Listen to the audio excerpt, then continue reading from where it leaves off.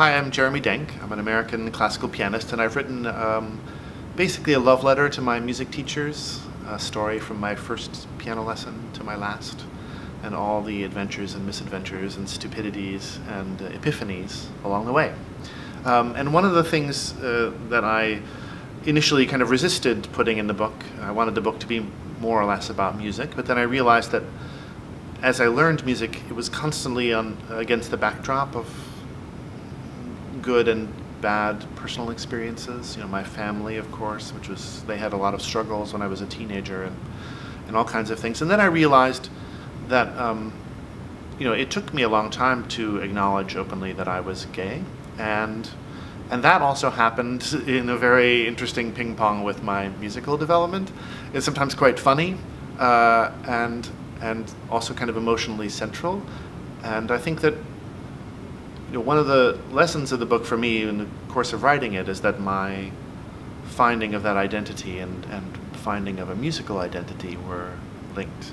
Um, it, I, it's, I was working on my doctoral document, document for Juilliard, you know, my final um, achievement for my long musical education, and I, I ended up, you know, going on this sort of to this party in Brooklyn and getting quite drunk and then then hooking up with, with a guy which I had never really expected to do. And it was a disaster in every possible way because he was freaked out by it and, and I, I he woke up miserable and I woke up you know radiantly happy. And then I realized at that moment you know uh, hungover on this floor of an unfamiliar apartment that I had a lesson with one of the most famous pianists in the world Mitsuko Uchida.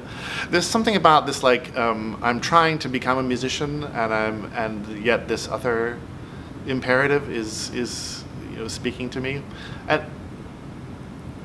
it was so um, of course the classical community was so welcoming when I finally you know, acknowledged it at a summer music festival not long after that. And what struck me while writing the book and thinking about all these years is the way that musical expression and um, personal expression were interwoven and interlaced. And my, my teacher, Sebők, who I talk about a great deal in, in the book, was all about the truthfulness of musical expression, how important it was to speak Mozart with the right grammar and without false emotions, but to find you know the, the center of what he's trying to say about the human condition, or you know, and and I and I felt that finding the truthfulness of my identity was was exact mirror of that.